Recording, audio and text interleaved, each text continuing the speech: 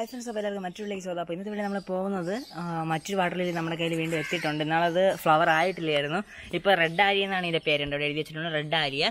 Okay എന്റെ flower ഒരു പ്രത്യേക വൈബാണ് കാരണം നമ്മൾ നടുക്ക് സാധാരണ വാട്ടർ ലില്ലീസിനെയൊക്കെ നമ്മൾ നടുക്ക് നോക്കിക്കഴിഞ്ഞാൽ ഇങ്ങനെ വരും. പക്ഷേ ഇതിനാണെങ്കിൽ നടുക്കും അതും കുറച്ചുകൂടെ വ്യത്യസ്തമായിട്ടാണ് ഇരിക്കുന്നത്. പിന്നെ അതിന്റെ കളർ ഒരു പിങ്ക് കോമ്പിനേഷനാണ് കുറച്ചുകൂടെ പ്രത്യേക രീതിയിലുള്ള ഇതളാണ് അതിന്റെ ഫ്ലവറിനകത്ത് വരുന്നത്. പിന്നെ ഇതിന്റെ പേര് റെഡ് ആരിയാണ്. പിന്നെ അതുപോലെ ഇത് നമുക്ക് നിറച്ച് തൈകൾ കിട്ടും. എനിക്ക് ആദ്യത്തെ ഒരു ട്യൂബർ മേടിച്ചു. അതിൽ നിന്ന് കിട്ടിയ തൈകളാണ് ഒന്ന് രണ്ട് ഇത് ആ ഇത് റെഡ് ആലിയാണ് മൂന്ന്. പിന്നെ അത് പോയിട്ട് ഒരെണ്ണം കൂടെ ഉണ്ട്. അത് വേറൊരു പ്ലേസ് നട്ടിട്ടുണ്ട്. ഉണ്ട് അതിന്റെ ലീഫിൽ ചെറിയൊരു കളർ കോമ്പിനേഷൻ വരുന്നുണ്ട്.